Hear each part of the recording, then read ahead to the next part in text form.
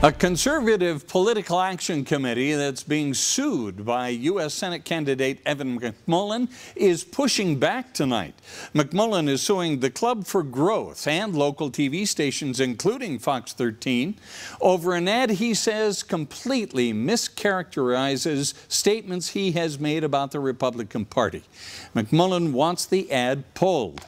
In a formal response to the lawsuit, the PAC is asking a judge to reject McMullin's complaint. They claim their statements are true and the lawsuit is an effort to censor them and local TV stations that have aired the ad. They also claim McMullin is trying to water down his own past criticism of the GOP.